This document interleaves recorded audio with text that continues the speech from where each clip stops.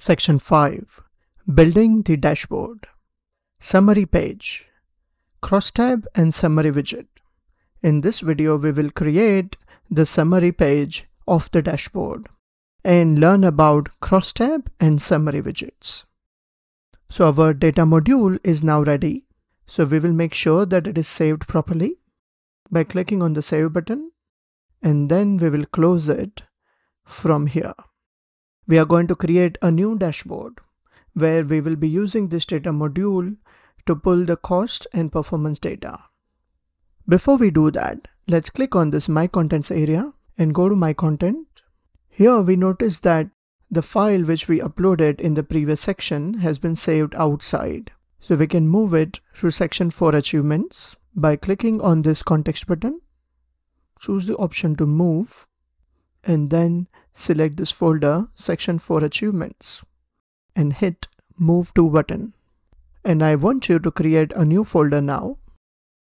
Section 5 achievements. Now let's click on the plus icon at the bottom left corner and choose the dashboard option to create a new dashboard from scratch. I would like you to choose this template which has got a bigger section and then some smaller sections on the top and on the left hand side. Click on OK. The first thing we will have to do is select a source for data. So we'll go to My Contents, section for Achievements folder, and choose the branch costs and performance module, which we just saved. Click on Add and now we can see all of those tables and data items which we created in the previous section. I would like you to create a cross tab or a grid here which will show the region level cost and performance data. So open the branch hierarchy and drag regions. As soon as you drag a data item on the canvas, Cognos tries to pick a visualization which is suitable for that data item. But we can always change it by selecting this option called change visualization. So click on that and open all visualizations and choose crosstab. Crosstab is a grid-like visualization.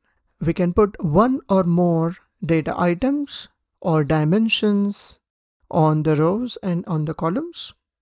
And we can show the numbers in the intersection. In order to place data items on the rows or columns, you need to click on this icon on the top right corner to expand the visualization panel. So here we see that region has been placed on the rows. On the columns, we are first going to put some cost data. So we expand the cost data, so if you drag infrastructure cost and put it in values, you will now see that infrastructure costs are being shown. And on the rows, there are three regions.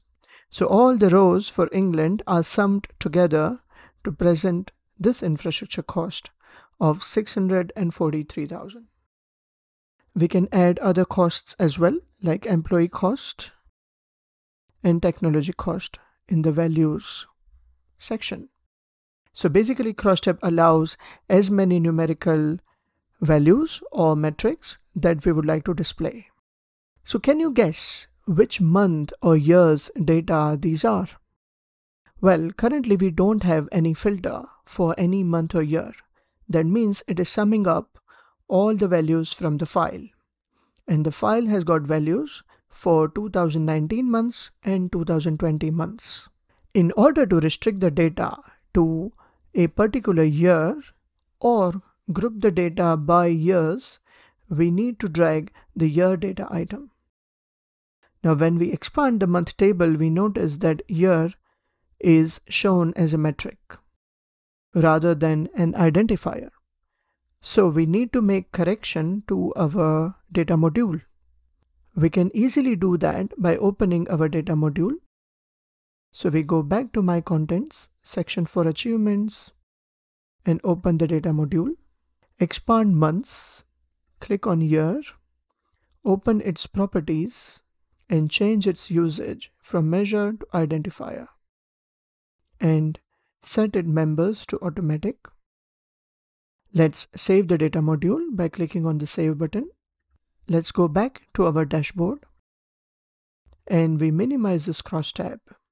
In order for the changes to reflect, we need to relink this dashboard to our data module. But before doing that, let's save it in our new folder called section 5 achievements and we will name it as branch performance dashboard. To relink, we need to go back up and then choose this option to relink the data module. Choose the data module, which is essentially the same data module from section 4 achievements and click on use. So Cognos has now refreshed the definition for data module and we can see that year is now being shown here as an identifier. Let's try to expand this crosstab and choose year to be on the columns. We can see that 2019 now appears here and if we scroll to right we see 2020 as well. So we are happy with the crosstab. We can minimize it and let's move it to the middle of this section so that it will expand to fit the whole section. Let's see it in full screen mode. And here we can see the 2019 and 2020 annual costs and the summary represents the summation of both. Press escape to come out of the full screen mode. Now on this crosstab I don't want to show the summaries. So click on the crosstab and click on the plus icon on top and that gives us some options that we can use for this crosstab. There is this option to hide summaries so click on that and we can see that the summaries are now hidden. We can also add a title to this crosstab by clicking on this edit the title option and we can call it annual costs by regions. Now typically cross tabs provide a lot of numbers. So the key information we would like to place on the top and on the left hand side. So we will expand the data items and open CA performance data. And we are going to drag invested assets, fees and commissions on the top as individual singletons or summary widgets. I want you to drag the invested assets measure on the top in one of the section and drop it in the middle. So we can see that Cognos has this time chosen a different visualization. Because it's a numerical data, Cognos has chosen something called summary widget. Summary widgets are great for highlighting the key performance indicators. If you expand this widget, you can see that it's a summary widget and essentially it only accepts one numerical measure. We will repeat this process for fees and commission. As we are not limiting our dashboard currently by any filter, all of these numbers are the totals from the CA performance data. Now I would like to limit this page only to 2019 data. For that, let's open months. Let's drag year to the filter section for this tab. When we drag it, we get the option to either choose 2019 or 20 or both. In this case, we are going to choose 2019 because it's a year which is complete. Notice that as soon as we put a filter, all of these visualizations show an icon on the top right corner.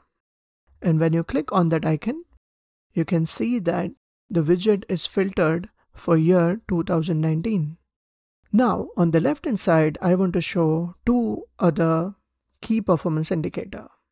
The first one is going to be total earnings. For that, I'm going to add up fees and commissions. And the second one is going to be total cost. And for that, I'm going to add up infrastructure, employee, and technology costs. So let's learn about creating some calculations in the dashboard tool. In our previous section, we learned that we can create certain calculations in data module. However, if a data module is already created or owned by someone else, we can still create calculations specific to this dashboard in the dashboard tool. So if we expand branch cost data and then click on this context icon and choose new calculation, we can drag infrastructure cost plus employee cost plus technology cost here and call it total costs and click on OK. So a new calculation has been created which is not in the data module but it is available in this dashboard which we can use on this tab as well as on any other tab that we will create within this dashboard. So let's drag the total cost calculation and place it on the left hand side and we will create total earnings by adding up fees and commission. So we repeat the process for CA performance data table. Click on calculation and add up fees and commissions and call it total earnings and drag it on the canvas on the left hand side. We can see that both of these widgets are showing the filter and when we click on them we can see that they are already filtered for the year 2019. Let's save this dashboard and we change the mode to presentation mode by turning off the edit option. So whenever any user is going to access this dashboard, this is how it will look. Let's open in full screen. In one glance, they will be able to see the 2019 invested assets, fees and commission, they will also be able to compare the total earnings and total costs, and they can see the cost split by regions. If the user wanted to change this view from 2019 to 2020, they can easily do that by clicking on this year option and then change it to 2020, turn off 2019 and click on OK. And all of the figures are now changed to 2020. If you are presenting this dashboard, you can also hide the filter section by clicking on the small tick. And here we see a small number one because it indicates that there is one filter being applied to this tab. Let's click on escape to minimize and go back to the edit mode by clicking on the pencil button. The cross tab is not filling up the whole space available to it. So we will select this widget Open the properties pane, expand the chart options, and here we can increase the row height and the column width. That looks better. So we are going to save this dashboard